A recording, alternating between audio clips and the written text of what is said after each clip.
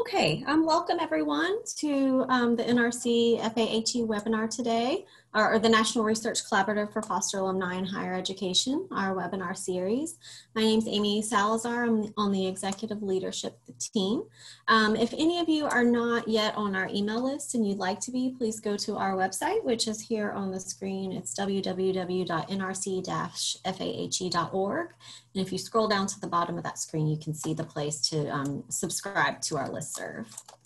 Um, so before we get started uh, with our webinar today, I just want to um, give some information on our November webinar. Um, so the November webinar will be held on Thursday, November 12th from 11 to noon Pacific time, 2 to 3 Eastern. Um, and the presenters that day um, will be Dr. Rachel Kirk, Tyrese Tate, and David Halpern from Texas A&M University.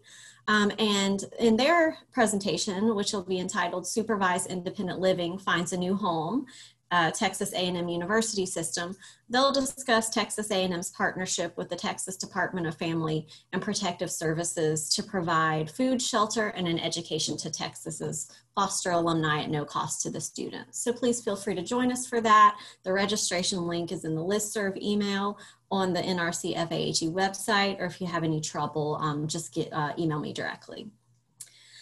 Um, so uh, today's webinar, we will have, for today's webinar, um, we'll have Svetlana Shpiegel. Uh, she's an associate, professor. oh, I hope I said your last name right, um, Svetlana. Yes, you, did. Okay, great. so Svetlana is an associate professor at the Department of Social Work and Child Advocacy at Montclair State University. Um, and her research focuses on the functioning of adolescents and young adults emancipating from the foster care system. And she's particularly interested in early pregnancy and parenting among current and former foster youth and the effects of parenthood on youth socioeconomic outcomes. So before I hand it over to Svetlana for her presentation today, I just want to say that she's going to present for about 40, 45 minutes, and then we'll open it up for Q&A time. But please feel free to go ahead and type your questions into the chat box as we go. And at the end, I'll read those out to Svetlana. Um, so I think that's everything. Okay, uh, Svetlana, I'm going to hand it over to you. Thanks, Amy. Let me just share my screen here real quick. Okay. Um, okay. Um, so hi, everybody. Thank you for joining this webinar.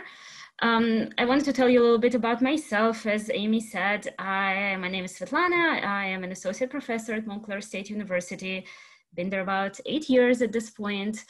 And my research has been on youth who age out of the foster care system. And I would say about the, last five years, I've focused primarily on expectant and parenting youth in foster care. I've listed some projects, uh, my current projects that are relevant to this specific group. So I'm, I'm doing an evaluation of um, a program that is at my university called Red Hawk Fellows Program, which is a campus-based support program for independent students and foster youth. And I'm also going to start a project on the experiences of parenting youth during the COVID-19 pandemic. And this particular project is this third bullet there, um, and that is um, disparities in higher education access among foster youth who have children. And in general, I work with large administrative data sets, um, NYTD, AFCARS, NCANDS, some others. Um, so this particular project includes some findings from that third bullet point there. Um, so um, I know Amy said that uh, we have, we're gonna keep questions to the end, but I did wanna ask you a kickoff question, uh, so to speak. Um, what do you think, and maybe you could just type some um, answers in the chat function. Um, but I was just curious, what do you think are some of the barriers for pursuing higher education among young mothers with foster care backgrounds? What are some of the things that might prevent or make it difficult for them to do that? And I'm just gonna give you maybe a minute or two to type something. And then Amy, if you could read me uh, the answers because I can't see them, that would be wonderful. Sure. So we have uh, inadequate access to childcare, another childcare, cost of childcare. yeah, everybody's kind of saying uh, childcare at this uh, at this mm-hmm. point. Um, knowing what's available in terms of financial support for education. Mm-hmm. Mm-hmm. Absolutely. Work-life balance. Work-life balance. Mm-hmm. Yeah, so so that's exactly right. There are many barriers uh, that affect access to higher education among this population, and I'll talk about some of that uh, at the end once I go over my findings. Um, I want to say that uh, because this, uh, my understanding from Amy was uh, this group is a mix of researchers and practitioners. I've tried to make this presentation as practitioner friendly as possible.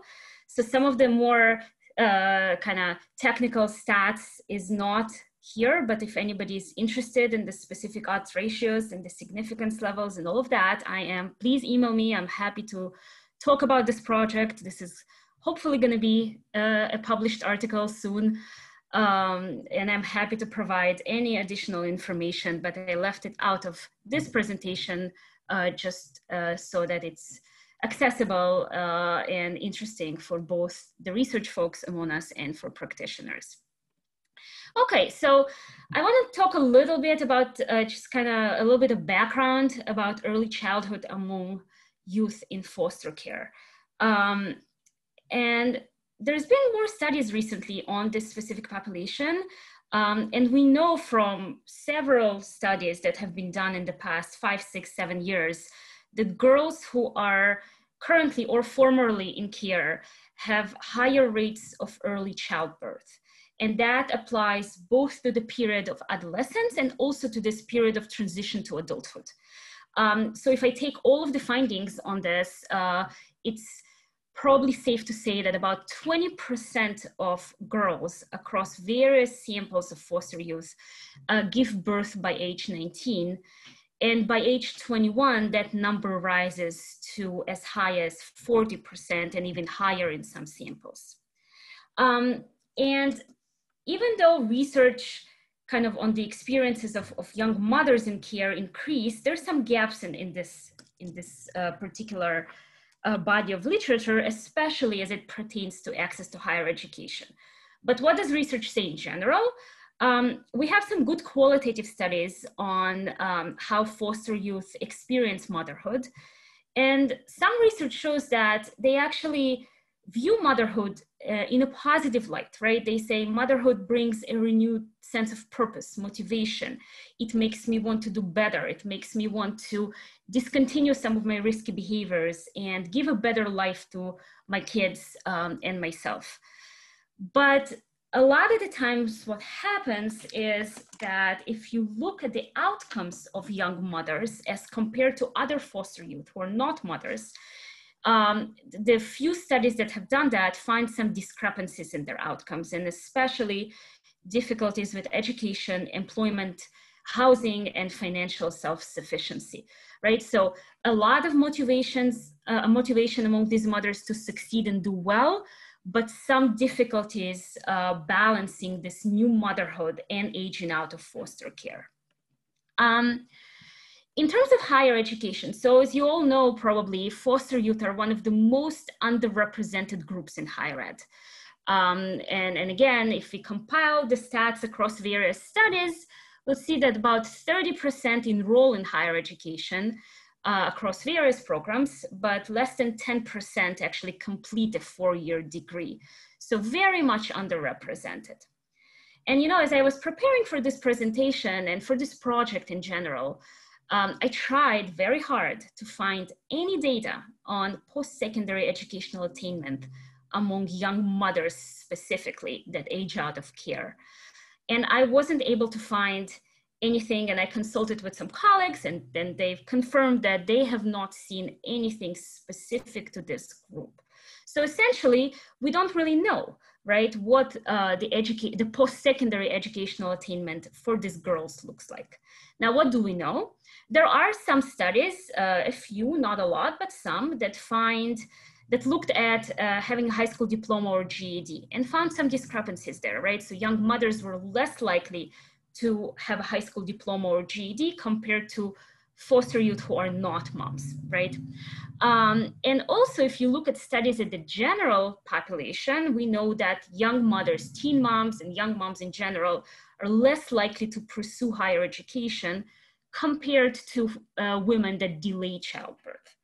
Um, so from all of that, you know, you, uh, I've, I've sort of said, well, there, there is no data on foster youth. Clearly, there is reason to suspect that there might be discrepancies in access to higher education. So let's look at that, right? So, so what are the goals of this study? Um, I wanted to look at um, kind of what is the post-secondary educational attainment among young mothers um, in care or aging out of care. So some are still in care and some are have exited already. Um, and I'm looking at age 21, okay? And then um, I wanted to also look at the risk protective and child welfare factors that are associated with post-secondary educational attainment among these young mothers. Okay, so those were kind of the goals of the study. Um, what are the sources that I've used? So this project includes a linked data set uh, that includes two sources. First is the National Youth in Transition Database, NYTD. Um, so those of you who are not familiar with NYTD, um, it's a data, it's a federally mandated um, data collection, right? Uh, that requires states to collect information on all youth who are in care at age 17 at specific years. So NYTD cohorts begin every three years. The first was in 2011. And the second, which is what I'm using here in this presentation is in 2014. And then once a youth is age 17 in uh, that fiscal year, 2014, they're also followed at ages 19 and 21 if they participated at the age 17 data collection. And then in addition to that, um, I use the AFCARS data, which again, most of you probably are familiar with, and that is a federally mandated, again, data collection system on all kids who are in foster care in the United States. And that has information on things like placement type and placement stability, um, and other important child welfare characteristics. So NYTD has information on youth outcomes, and AFCARS have, has information on their child welfare experiences. And you can link those two da data sets using a unique child identifier. Um, so the sample for this specific study, and I'll talk about um, I'll talk about limitations at the end of this presentation. I'm sure again those those of, of us who are researchers are familiar with NYTD and know that the data has some limitations. So I will discuss all of that at the end. But who, who are the girls that I've included in this sample? I essentially included girls who participated in all three waves of NYTD data collection, right? So those who participated at age 17 at baseline and also participated at age 19 and 21, okay? And even though those were the girls that are, so this is about, as you can see, 3,669 girls in total, okay? Um, and they come from all states, the District of Columbia and Puerto Rico. But again, even though it's a national sample, it's not a nationally representative sample. And that's important to remember because this is a subset, right? And I'll talk about how this specific population is actually um, it's not representative of, of all youth in foster care necessarily because uh, of various uh, issues related to who participates and how much dropout we see across waves, okay? Nevertheless, it's a large sample um, and you could see that about 40% were non-Hispanic whites, 20% uh, black, but oh, I'm sorry, 28% black, 22% Hispanic. And then we have some multiracial and Native American um, and Hawaiian and other Pacific Islander youth as well. And just to kind of reiterate the point that this is a sub subset of the NYTD um, population, uh, about 60% were no longer in care at age 19, which is actually higher than uh, those youth, uh, than kind of the overall NYTD population who may have not participated in all three waves of, of the data collection, right? Who may have dropped out at some point. Um, so that's important to remember and I'll reiterate that at the end because I think that has some impact on what we see here. Um, so some of the important variables that I wanted to define. Um, so NYTD asks about whether a youth has given birth or fathered a child that was born. Um, and um, they ask that at every wave, right? At the baseline at age 17, they ask about any birth, right? So at any point, have you given birth? At age 19 and 21 data collection, they ask about the previous two years, right? So essentially a youth who said at age 19, yes, I've given birth, the, the birth has occurred between ages 17 and 19, right? And if at age 21, they said, yes, I've given birth, that birth refers to ages 19 to 21, okay? Um, and the way that I've done this analysis, um, I, I, wanted to look at some bivariate differences between girls who had any kids and those who had no kids at all, right? Regardless of the timing of birth. And then in multivariate analysis, I only included mothers and um, the timing of birth is looked at more closely because I want to see if uh, when they give, gave birth, if that matters for their um, post-secondary educational attainment at age 21. Now, in terms of how I defined post-secondary educational attainment, so you actually have to use two variables to kind of determine whether or not a youth um, has any kind of post-secondary education involvement, right?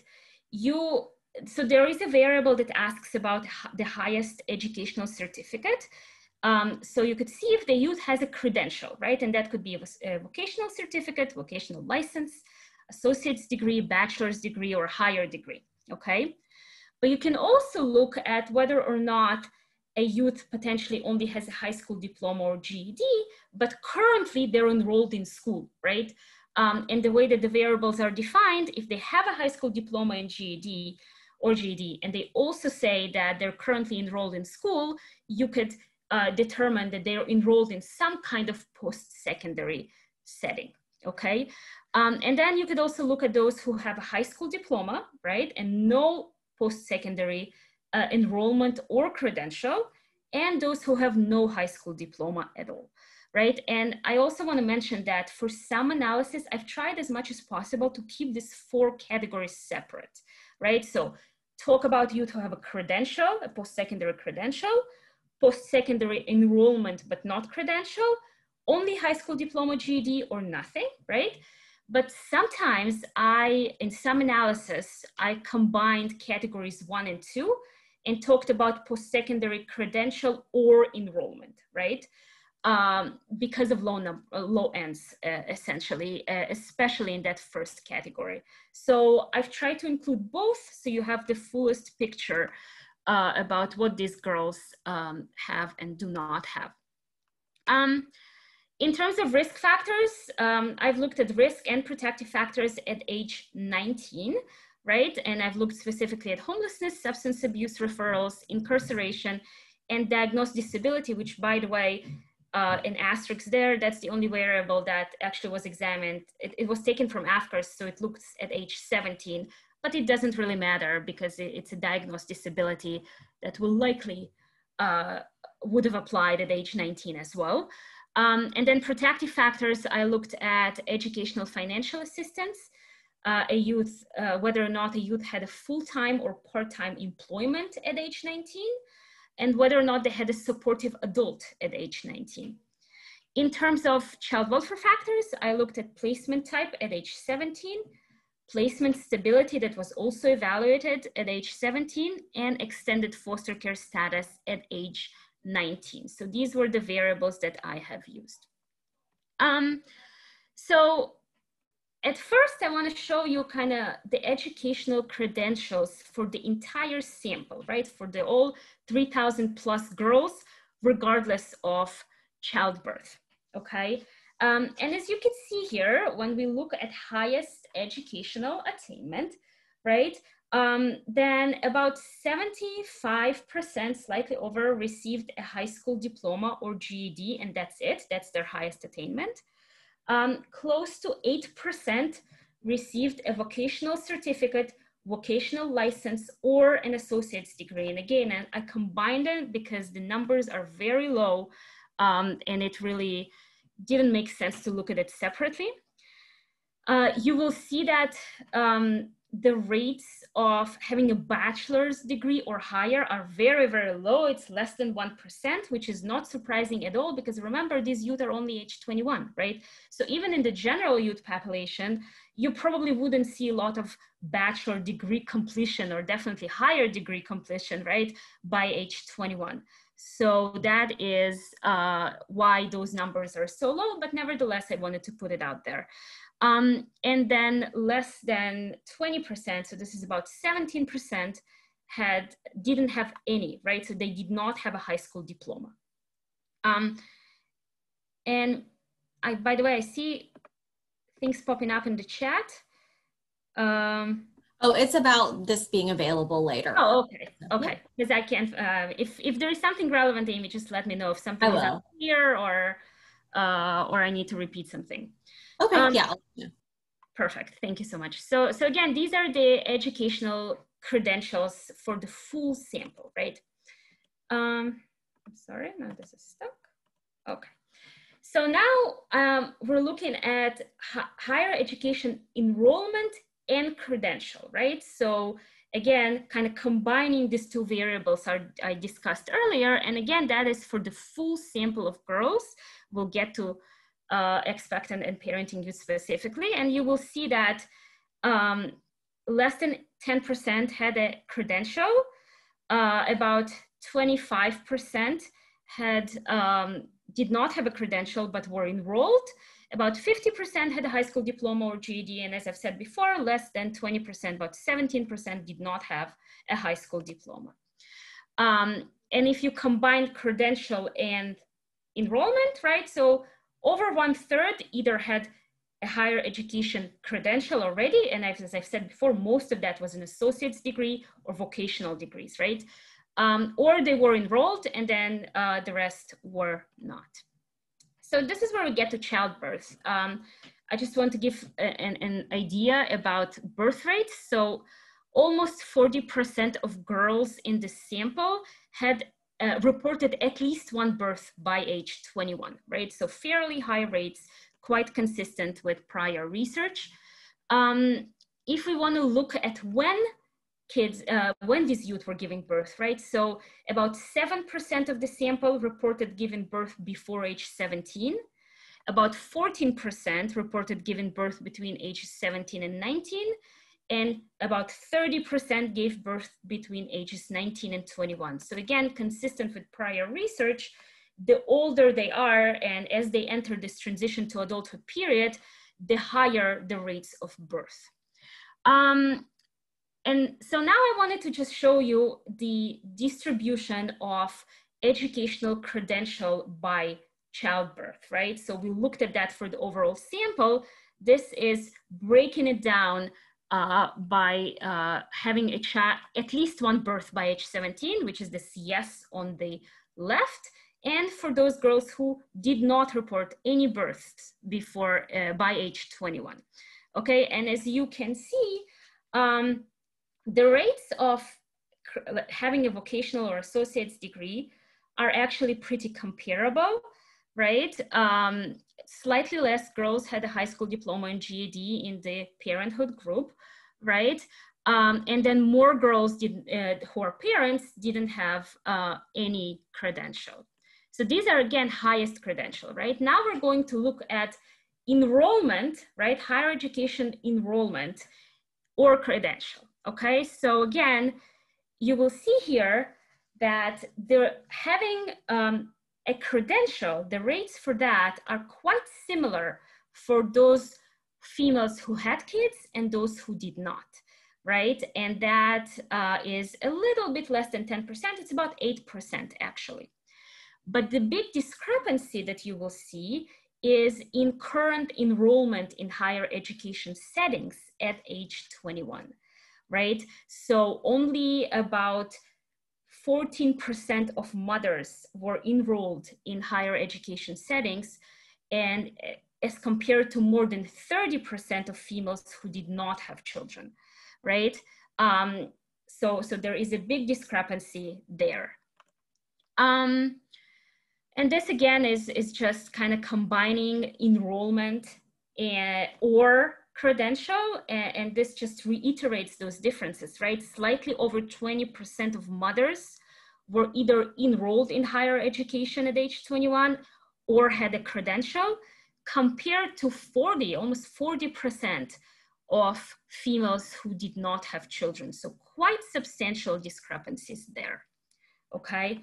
Um, so what does that all mean up till now, right? Um, essentially, as you could see, uh, childbirth is very common, right? Nearly 40% of females in this sample had given birth by age 21, and most of these births occurred between ages 19 and 21. And then, as I've said before, mothers and females who weren't mothers, non-mothers is probably not the right term to use here, um, but bear with me, English is a second language. Um, so uh, they obtained a post-secondary credential, right, at similar rates, but mothers had significantly lower rates of current enrollment in post-secondary programs at age 21. And that to me suggests that mothers are more likely to stop or maybe temporarily pause their schooling after they obtain a high school diploma or GED or after they obtain a vocational or associate's degree right? And that possibly could be because they need to enter workforce and they need to provide for their kids, okay? Um, so now let's take a little bit of a closer look only at moms, right? So we've looked at the entire sample up till now, comparing moms and not moms. Now we're only going to look at moms. Um, interestingly enough, there weren't a lot of differences by race ethnicity, right? So their educational uh, attainment did not differ by race ethnicity at all. That lower bar, uh, lower blue bar at the other race category, take that with a grain of salt. Yes, it seems like uh, females of other races um, had lower rates of higher education enrollment or credential, but those numbers were really low. So I am not reading too much into that. And these differences in general are not significant. Um, so fairly similar by race ethnicity. What was different is if you look at mothers who left care before age 19 and those who remained in care, and you will see that there is about a 10% difference in higher education enrollment or credential, right? Less than 20% of moms who left care by age 19 uh, had uh, pursued higher education or had a credential, uh, and that's um, as compared to about close to 30% of girls uh, who still were in care at age 19, okay?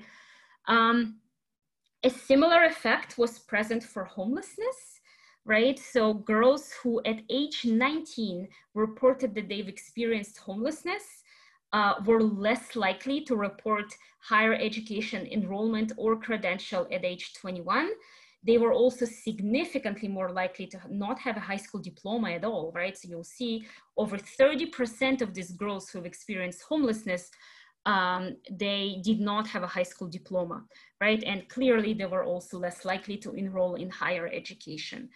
Um, and then uh, moms who had employment experience uh, were more likely to enroll in higher education at age 21. So if they had employment experience at age 19, either full-time or part-time, they were more likely to enroll in higher education at age 21 or receive a higher education credential.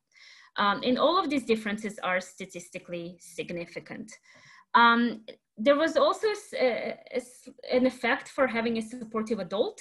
So moms who had a supportive adult at age 19 were more likely to, you will see in that blue uh, column, they were more likely to um, either be enrolled in higher education or receive a credential uh, by age 21 or both, right? Those who had a credential, I count them as credential, but they could also be enrolled.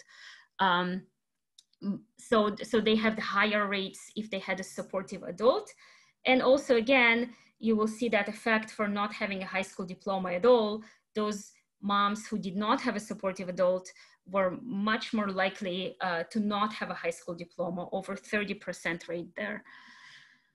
Um, and then the last one here is educational financial aid, and you'll see very large differences there, but you also should remember that there is a little bit of the chicken and the egg there. Obviously, moms who received educational financial assistance at age 19, so over 40% of those moms were um, enrolled, were either enrolled uh, in higher education at age 21 or received a credential right? And that is as opposed to less than 20% of moms who did not receive educational financial assistance. But keep in mind that receiving educational financial assistance, the way that it's defined in NYTD, likely implies that at age 19, they were already enrolled in higher education, right? And that's why they received this aid. So again, I think educational financial assistance is important in its own accord, but these large differences are probably also because only those girls who were, or mostly the girls that were already enrolled in higher education, received that educational financial assistance that also includes student loans and things like that and the definition. Um, okay, so again, main takeaways from this. Um, moms who left foster care by age 19 and those who experienced homelessness were less likely to report post-secondary enrollment or credential at age 21. And as opposed to that, moms with employment experience, those who had supportive adults, those who received educational financial aid, were more likely to report post-secondary attainment at age 21. Um, and as I've said before, race ethnicity didn't really matter. Um, in multinomial logistic regression, uh, which again included only moms and looked at the timing of birth, uh, the key finding there was that girls who had children between ages 17 and 19 or and or between ages 19 and 21 were less likely to report higher education enrollment or credential at age 21. But if they gave birth before age 17, once you control for that subsequent birth, right, that didn't significantly impact higher education enrollment or credential at age 21. So timing matters, right? Um, and it makes sense. We could talk a little bit more about that in the practice implications but essentially when parent when these girls have to parent very young kids clearly they struggle more in terms of uh, remaining in school right uh, possibly because of childcare and probably because of other issues as well um, but i would love to also hear your thoughts on why you think this happens in terms of risk and protective factors so this arrow down means that they had a decreased likelihood of post-secondary educational attainment and the arrow up is increased. And again, those are all factors that we've discussed before. They remain significant in multivariate analysis as well. Uh, earlier exit from foster care actually trend, it was a strong trend. It was about 0.06 or something like that, but it was actually a trend once all other variables were controlled. Um, okay, so um, summary and implications, right? Um, I guess what, what, what's important to take away from this? I think one of the important things is, uh, again, I've said this before, childbirth is really common, right? So by not considering childbirth when we talk about post-secondary attainment among girls in foster care, um, that's a problem. And even this 40%, it's probably an underestimate because remember, this sample includes girls who are more likely to be in care at age 19 than other girls in NYTD. And those girls who stay in care longer are actually, based on many prior studies, less likely to have kids, right? So probably the ones that we couldn't include because they didn't participate in all NYTD surveys, they probably have even higher rates of birth, right? So even in this underestimate, it's 40%, right? And we really need to account for that when we think about higher education access. Mothers are disadvantaged, even compared to other foster youth, not to mention uh, if we compare them to non-foster youth, right? And childbirth during the period of transition to adulthood, that period of ages 17 to 21, that seems to be to have the biggest effect, at least at age 21. Again, it would have been great to follow up uh, more. Unfortunately, NYTD doesn't have an age 23. Uh, I wish it did, uh, because I think we could learn a lot uh, by having another data point. Uh, but even in this, in, in what we do have, uh, we could sort of see how the timing of birth matters.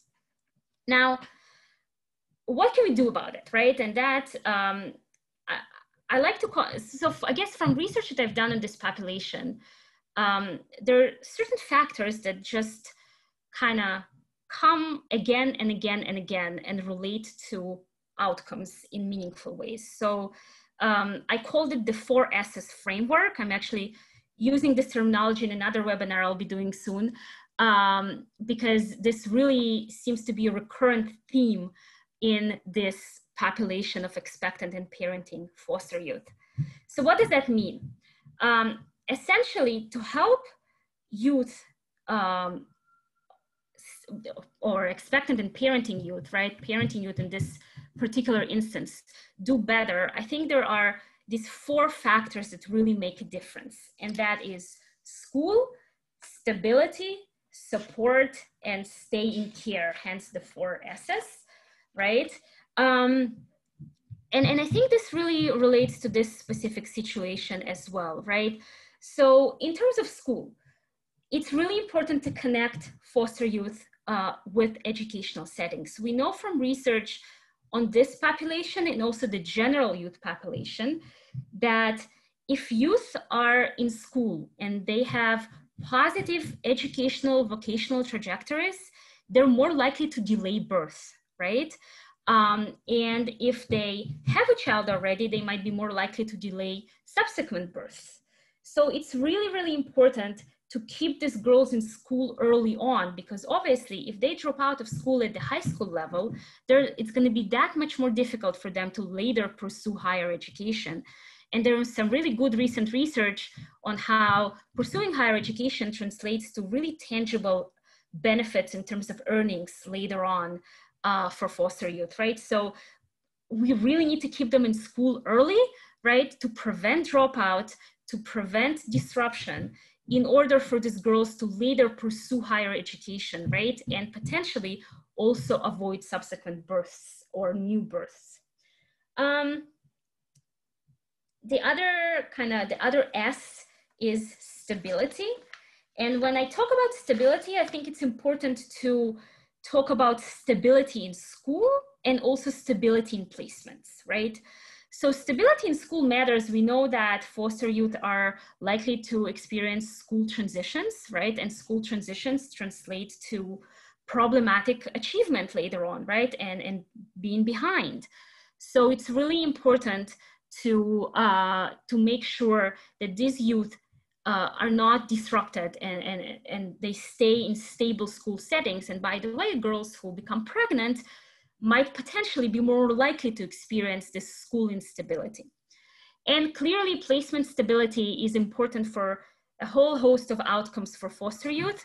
Um, I didn't talk a lot about uh, placement stability here because it didn't differentiate much between, it, it wasn't necessarily predictive of higher education um, attainment, but it did differentiate between those youth who didn't have a high school diploma or GED and those that did, right? So by extension, that also translates to higher education at some point.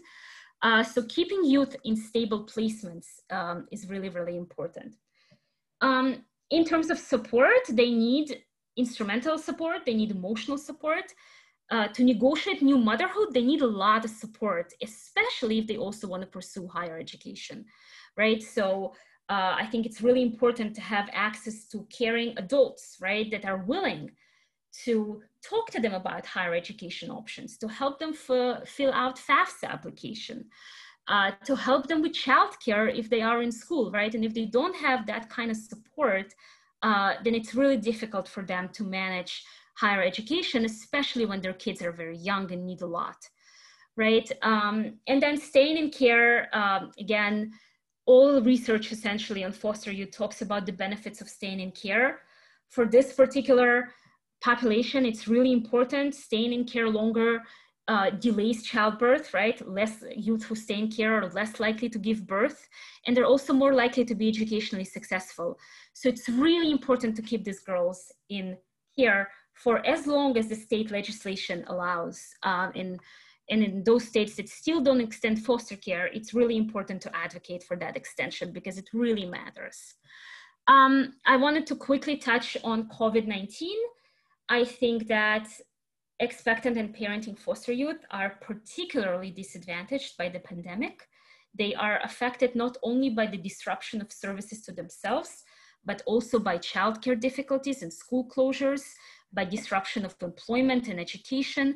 Uh, they might have a higher likelihood of uh, COVID-19 related morbidity and caregiving responsibilities, right? Remember that most girls who are parenting are racial, uh, or not most, but a lot of girls who are parenting are racial and ethnic minorities, and those have also been more affected by the COVID-19 pandemic, right? So there is a kind of confluence of difficult circumstances for these girls.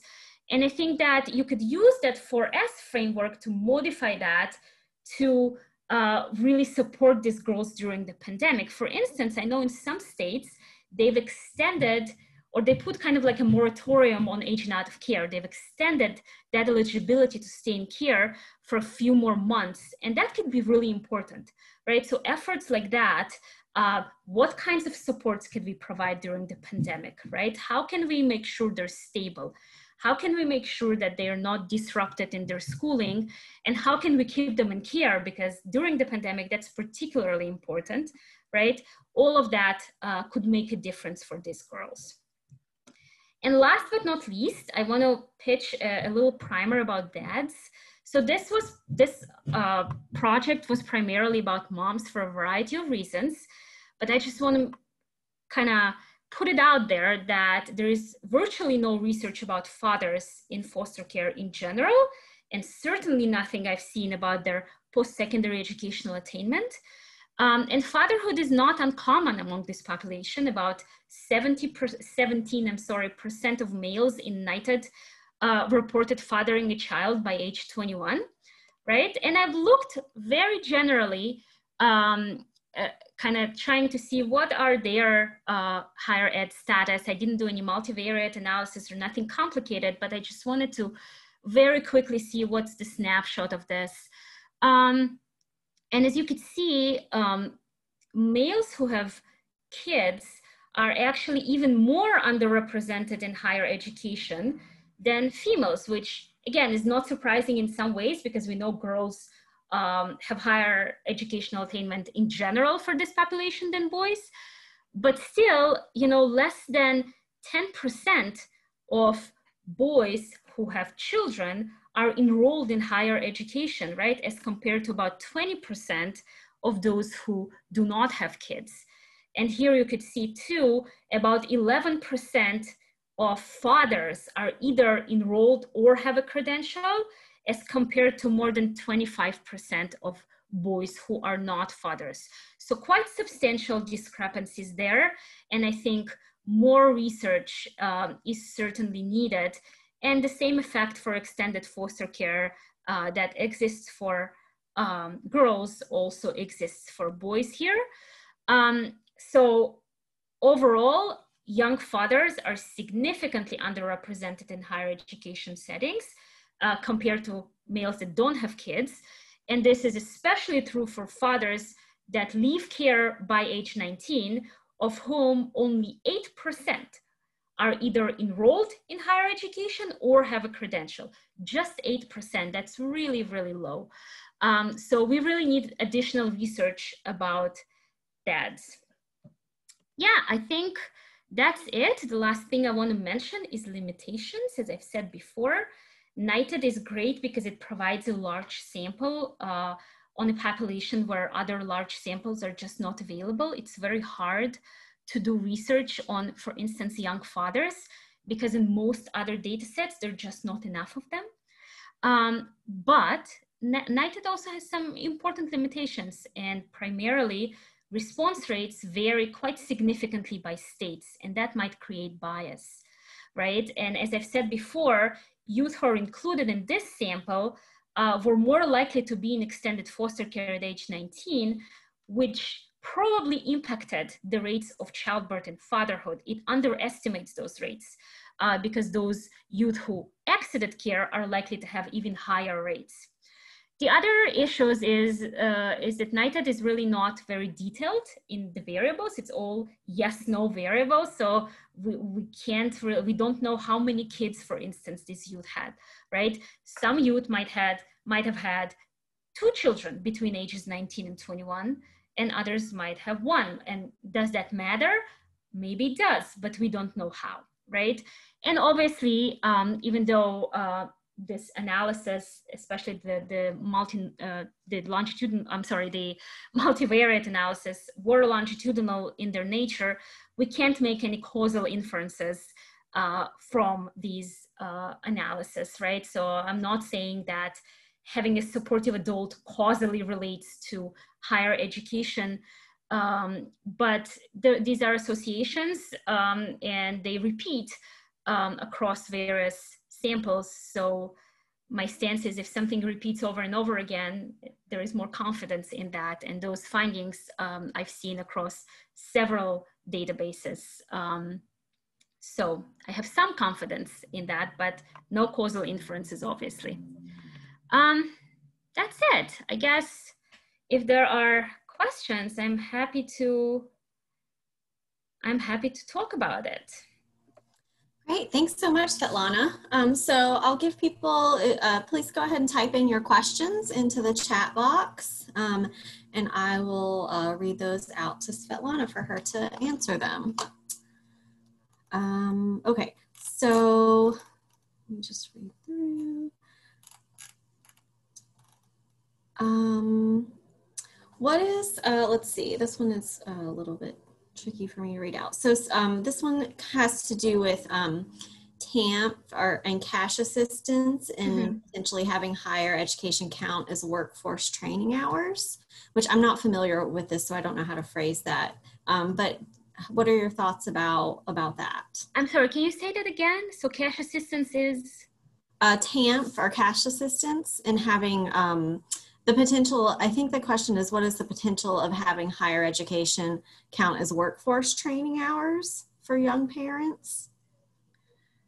You know um, i am not sure. I would have to look into that. Um, what i can say is in, in sort of the larger analysis um, i was wondering so NYTD does have a, a variable related to cash assistance. Um, and i was um, wondering um, I was thinking about including that and seeing if moms who receive um, cash assistance and other supports like housing support and, and things like that, um, are they more likely to enroll in higher education? Um, I didn't include it here, um, but um, but I think that that's that's interesting to look at. One of the reasons I didn't include it is those questions about cash assistance are only asked of those girls who aged out of care already. If they're still in care, they're not asked, and that cuts the sample by much. Uh, so, so I didn't, uh, I didn't include it. I'm not sure about what it, in terms of if it qualifies or not. I, I bet that varies by state. But if somebody else knows the answer to that, um, please type that, and I'm happy to to talk about it more. And I'm happy to look at that as well. Um, oh, sorry. Did somebody else just say something? No, I'm, I'm seeing some questions in my chat as well. Yeah, I was going to just read this out. Yeah. So the next question is, um, did the multinomial, uh, I can't say it today. Multinomial uh, logistic regression. Yes, logistic regression, sorry, everyone. Um, analysis include just mothers or all females, including those who never had a child? So I actually ran it both ways. Uh, here I included just moms, right? But I also ran it with all females. And actually the findings didn't really differ much. Um, so I'm still debating what I'll do for the for the actual article. Um, but I did run it both ways, and the findings were quite similar. I would say that for all females, the the biggest effect uh, for birth was for those who given birth between ages 19 and 21, whereas for just moms, ages 17 to 19 were also more significant, right? But the trends and the directions were all the same uh, regardless of how you run it. Thanks. Um, so the next question is, are you planning a qualitative study to explore this topic? So um, that's an interesting question. Um, I'm planning something. um, I don't know if, if, if I'm going to do a strict qualitative study, but certainly a mixed methods study. I would love to do some primary data collection on this topic uh, or look at other data that potentially has information on birth, but just didn't break down by uh, higher education attainment by childbirth, right? So I, I definitely want to look at this further. I think that um, what exactly that would be remains to be determined at this point. Once I'm done with the other two primary data collection projects I have, um, I'm certainly going to look at that. I really do think that more research is needed on this population. Um, we can't ignore it, right? So many girls have kids and they have kids exactly at the time where they're supposed to um, uh, also enroll in higher education. So if we're not um, if we're not counting them, if we're not looking at their experiences, then we're missing out on some information and how to support them. Thank you. Okay, so the, I'm going to put two questions together because they're, they're a little bit related. So one question is, what advice would you give for how to support um, pregnant and parenting youth in higher education settings or in campus support programs? And then um, I know at the beginning, a lot of people identify that issue around child care. So are you aware of examples of campuses who have um, found good solutions to the child care piece? So that's an excellent question. Um, I've, I've actually um, thought about that in connection with the campus support program that we have on our campus. And I wasn't able to find, I think to the first part, right? Um, I think child childcare has to be part of the equation, right? Um, and from what research tells us about these girls, it's not as straightforward as providing some kind of care, right? A lot of these young moms are very worried about increased surveillance and losing their kids to child protective services. And they are uh, monitored more closely than other moms, right? So some of these moms are very much uh, picky about where they're gonna put their kids. Um, so I think that the best way would be to provide childcare as part of this campus support programs, right? Because these would be universities that they're, or colleges that they're familiar with, uh, potentially a setting where they could drop in and visit their kids when they're while they're in school, right? And and see that everything is okay. Um, so I absolutely think childcare is is is an important part, especially during the pandemic. Uh, think about these moms that now are supposed to navigate remote schooling for their kids. And a lot of their kids have needs, right? Educational needs. So it's really, um, it's really, really important um, to, to introduce childcare uh, into the support programs. Now, I am not familiar um, with a campus support program that offers childcare, but that's not to say that they don't exist. I'm only now starting this project and I will be looking at that very, very closely. Uh, so if somebody is familiar with that, um, that would be that would be great. I would love to know that. I am. We don't offer that on our campus. Yeah, I haven't seen anyone else uh, type in anything, so I think that might be the end of our questions. Um, so thank you so much, Svetlana. We really appreciate you being here today. Um, thanks for sharing your really interesting research. Um, so thank everyone. Uh, thank you everyone for coming. Um, and again, uh, just a reminder that we will be posting both the slides as well as the recording of today's webinar on the NRC FAHE website. Thanks everyone. Thank you everybody.